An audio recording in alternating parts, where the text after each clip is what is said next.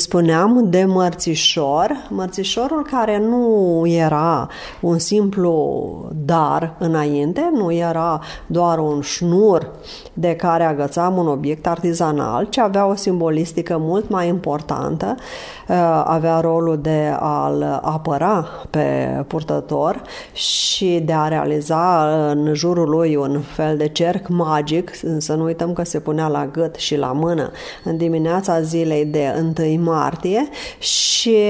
iar apoi când se scotea povestea este mult mai amplă și pătrundem în legendele satului patriarhal, vorbim de baba Dochia și de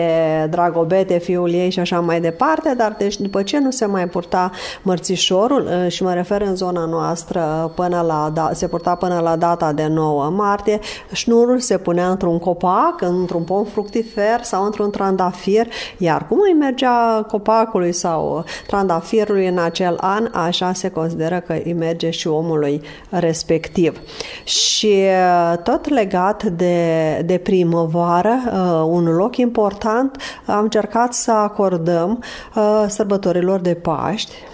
de altfel, este o mare concentrație de sărbători acum și ritualurilor de purificare din zona uh, rurală și să nu uităm că în fiecare sâmbătă este pomenirea morților și vorbim despre acea pomenire cum se făcea înainte cu o cană de apă neîncepută, cu un, o ulcică de apă neîncepută, cu un colac și cu o lumină, așa spuneau la lumânare, care se dădea de pomană. Și veți vedea de asemenea pomelnice vechi care se scriau pe lemn și care se duceau la biserică în posturi, iar părintele pomenea pe cei morți, dar și pe cei vii uh, de fiecare dată la slujbă și la fel vorbim de frumoasele costume cu care țăranii se îmbrăcau atunci când se duceau la biserică și nu trebuie să uităm, mersul la biserică în zi de sărbătoare